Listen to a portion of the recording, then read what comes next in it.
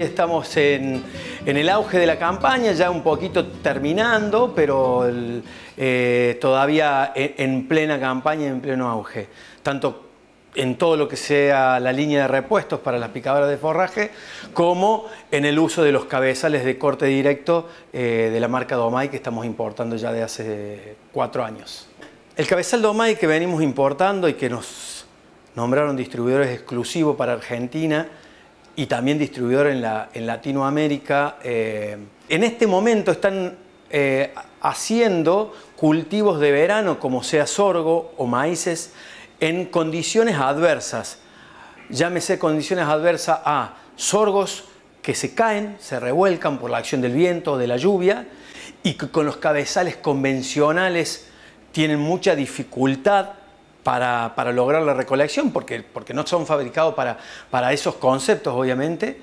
Los, los maíces, los cultivos de maíz que por estrés hídrico o por otras situaciones se pueden eh, llenar de malezas. El cabezal de corte directo de OMAI en esas condiciones eh, funciona eh, a la perfección. Es un cabezal multipropósito, pero en ciertas situaciones, en estas que describíamos recién. Cuando se presenta en esas condiciones, el cabezal de corte directo viene a cumplir esa función con creces porque ahorras tiempo, hay, hay, hay costos directos que son significativos del ahorro que se produce y hay otros costos indirectos que también son significativos, pero por ahí es muy complicado cuantificarlo, que se llámese pérdida de tiempo, roturas o idas a buscar repuestos porque se rompió el otro cabezal, eh, o el próximo eh, productor lo está esperando y no podés cumplir con los tiempos eh, comprometidos. La incidencia de los costos de repuestos sí es correcto mencionarlo porque mm, el cabezal convencional a tener mucha dificultad a, cosecharlo en esas condiciones adversas rompe mucho, eh, rompe mucho.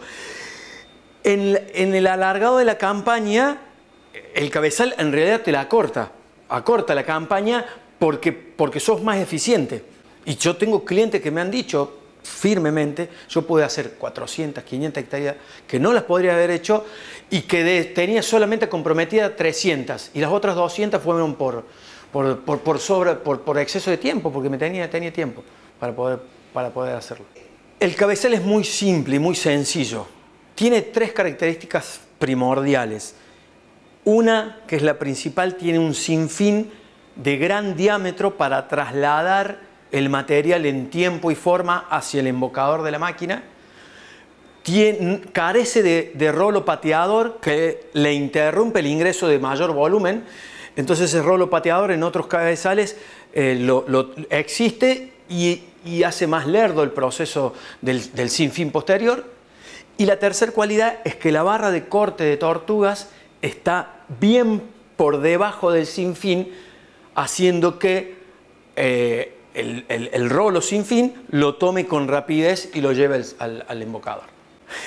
los cabezales de corte directo en el mundo han sido concebidos para, para, cosechar cultivos de invierno y se le ha encontrado la beta para los cultivos de verano en condiciones adversas como mencionábamos antes. Por esta razón, en Argentina recién arranca o, se empezó a ver este beneficio en los cultivos de verano, que es donde tenemos las brechas más cortas para ser eficientes. Por, lo dicho, eh, tiene, tiene un potencial de crecimiento hacia el futuro.